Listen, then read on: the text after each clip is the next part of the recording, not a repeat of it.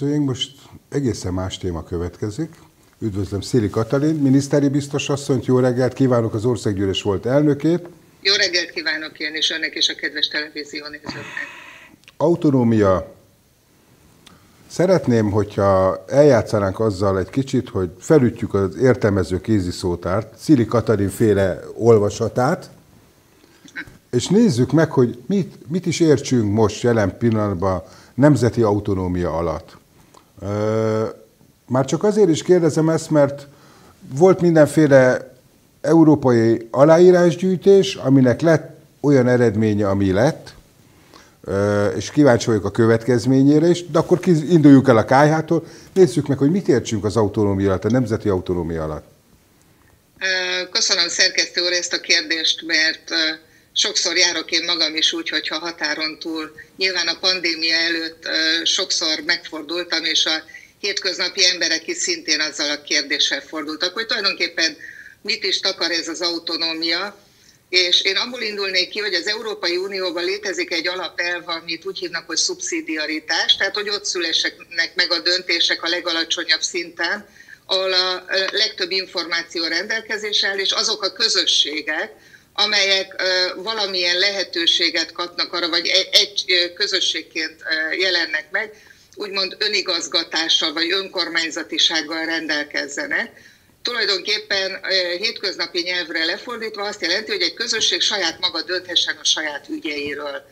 Nagyon érdekes volt, mert volt alkalmam például román politikusokkal erről beszélni, akik nagyon szívesen beszéltek arról, hogy mit jelent a decentralizáció, hogy egy-egy régiónak adják oda azokat a jogosítványokat, amelyek a döntéseket lehetővé teszik számukra, akkor én sokszor felvetettem nekik, hogy lehet, hogy ők magától az autonómia szótól félnek, nem igazán a tartalmától, mert önmagában az autonómia szó alatt mindig azt értik, hogy ez valamilyen elszakadást jelent. Ha példát szeretnék erre hozni, Európában számtalan ilyen példa van.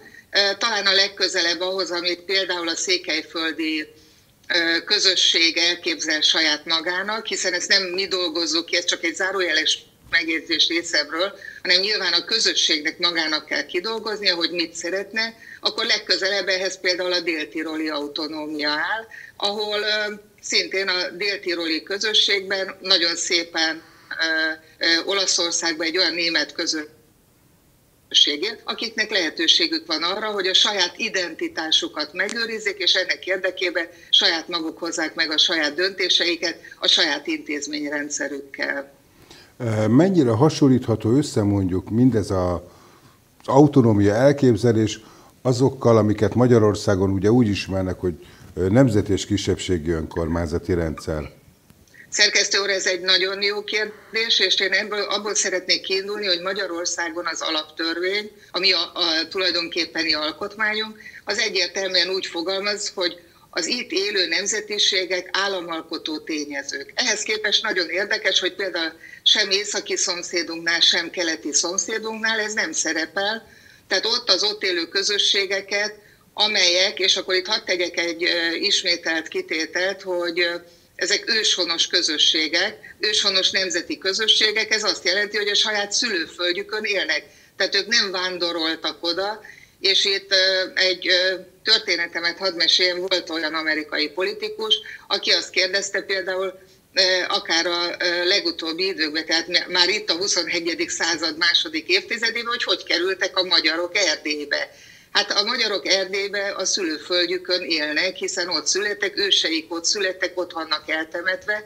Ez egy nagyon fontos kritérium akkor, amikor ezekről a kérdésekről beszélünk, és a Magyarországon lévő 12, hiszen 13 nemzetiség van, de ebből 12 az alapvetően nem a, például a roma közösséget most nem számolnám ide, vagy a cigány közösséget, de azok a közösségek szintén itt születtek, őseik itt vannak, tehát őshonos kisebbségeknek tekintendők, amit mi ma már összefoglaló néven úgy hívunk, hogy nemzetiségek. Egyébként csak a nézőkedvéért mondanám tájékoztatásul, hogy Európában minden hetedik ember nemzeti kisebbségi sorban él, uh-huh. tehát ez azt jelenti, hogy a saját szülőföldjén kerül kisebbségbe a többséggel szembe. Most azok, amit a szerkesztő úr említett a beszélgetésünk elején, hogy erre vannak törekvések, hogy, és, és hogy mit tudunk tenni, és hogy voltak az aláírásgyűjtések, valóban egyrésztről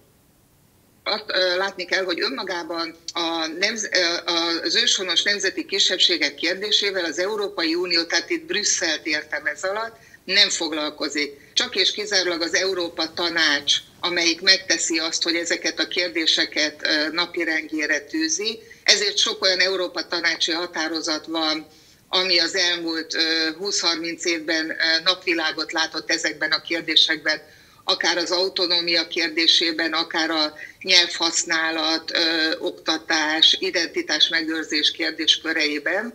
És ö, született, ö, ugye az első volt 2013-ban indultak ezek a kezdeményezések, egyrészt az úgynevezett minority szépen, amit elutasított januárban az Európai Bizottság, annak ellenére, hogy azt a bírós, az Európai Bíróság, az Európai Parlament támogatta, és hát mögötte van 1,3 millió európai embernek az aláír, európai polgárnak az aláírása. A másik ilyen kezdeményezés, ami a Székely Nemzeti Tanács részéről keletkezett, tehát ők dolgozták Igen. ki, ez pedig az úgynevezett nemzeti régiók kérdésköre, amiben a kezdeményezés arra irányul, hogy ott, ahol közösségként tömbben élnek ezek a közösségek, ismerjék el olyan régiónak, amely régiók külön fordulhatnak az identitás megőrzéséhez szükséges kérdésekben a kohéziós alapokból forrásért,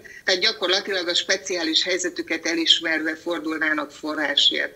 Sokan szkeptikusak, hiszen ennek az aláírás gyűjtéshez most zárul le majd május 7-én. Igen és sokan szkeptikusak, hogy majd ugyanarra a sorsra jut, mint amilyen volt a, a Minority Safe amiben egyébként, és itt csak hadd tegyek egy megjegyzést, ez utóbbiban folytatódik, hiszen ismét a bírósághoz fordulnak a bizottsági döntés megsemmisítése érdekében. A Székely Nemzeti Tanács kezdeményezése ügyében pedig, hát amikor már az egyes országok megvizsgálták az aláírások érvényességét, azt követően kerül majd az is a bizottság elé, és fogja vizsgálni.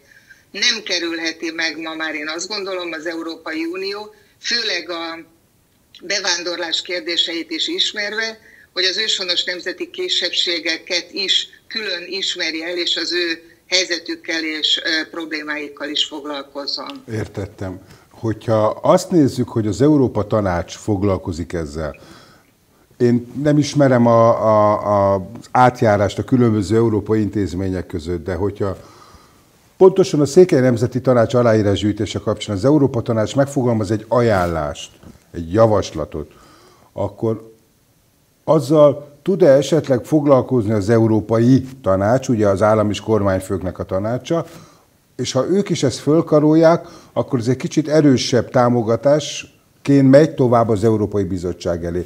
Erre van esély? E, tulajdonképpen azért is jó most ez a kérdés, mert május közepétől november közepéig az Európa Tanács elnöki tisztét éppen Magyarország, Magyarország fogja látja, betölteni. Igen. És ha már szerkesztő úr kérdése is erre irányult, akkor én azt gondolom, hogy fontos megjegyeznünk, hogy abban az öt prioritásban, amit Magyarország az ászlajára tűz az elnökség alatt, ebben az egyik kiemelt kérdés az éppen a nemzetiségek és az őshonos nemzeti kisebbségek és a nemzeti kisebbségek ügye. Az Európa Tanács, mivel fölvállalja, én azt gondolom, hogy nagyon jó, hogyha mi egy kész koncepcióval állunk majd az elnökség alatt elő. Egyébként négy konferenciára kerül sor, amit a külügyminisztérium szervez ebben a tárgykörben, és nagyon remélem, hogy a négy konferencia és a magának az elnökségünknek a végén akkor születni fog egy olyan dokumentum, amivel nyomást lehet gyakorolni az Európai Unióra, hogy vegye ő is napirendre ezt a kérdést, hiszen az Európa Tanács az a 47 európai ország, a földrajzi Európának a tömörítője, de ezzel lehetőség nyílik arra, hogy egy magasabb szintre emeljük ezeket a kérdéseket, és remélem, hogy azért például az Európai Bizottság is majd figyelembe veszi saját testületeinek a döntését, gondolok itt a saját parlamentjére, amelyik háromnegyeddel fogadta el például a minority szépeket, ami azért nem sokszor fordul elő, de ilyen értelemben napirendjén tartja az Európai Parlament is. Ehhez képest a minority szépek ügyében a bizottság hozott egy merőben bürokratikus döntést. Akkor ön szerint lehet reménykedni abba, hogy most talán észhez térnek az európai vezető politikusok? Én bízom benne, hogy belátják azt, hogy Európa újra definiálása, hiszen ezt nagyon jól látjuk, hogy erre mindenképpen szükség van, hiszen Európa úgy határozta meg magát, hogy egy gazdasági, társadalmi és területi kohézió megjelenítője. Ebben én azt látom, hogy önmagában a gazdasági kohézió ez egy fontos kérdés számára, hiszen azokban a kérdésekben élen jár. Ugyanakkor a társadalmi kohézió kérdésében sokkal kevesebb energiát fordít arra, hogy közösségi és mindenki számára elfogadható döntéseket hozzon. Én azt látom, hogy ebben a társadalmi kohézió kérdésében szükség lenne arra, hogy az Európai Unió felismerje, hogy egy következő időszakban akkor tudja igazán ezt az Európát erősíteni, hogyha ezeket is a napi rendjére tűzi. Értettem. Köszönöm szépen. Amennyiben lezárul a Székely Nemzeti Tanács aláírás gyűjtése, akkor ha lehetséges, akkor újból hívjuk, és akkor Nagyon megnézzük, hogy, megnézzük, hogy meddig jutottunk, és akkor hát, már egy kicsivel többet tudunk, jó? Ja. Köszönöm, köszönöm szépen, hogy rendelkezésünk rá, köszönöm szépen. Kedves nézőink, köszönjük szépen, hogy minket figyeltek, nézzenek minket továbbra is, számtalan érdekesebbnél érdekesebb műsorral várjuk Önöket, és holnap is lesz Pirkadat, holnap Rajer Péterrel. Nézzenek minket, minden jót kívánunk!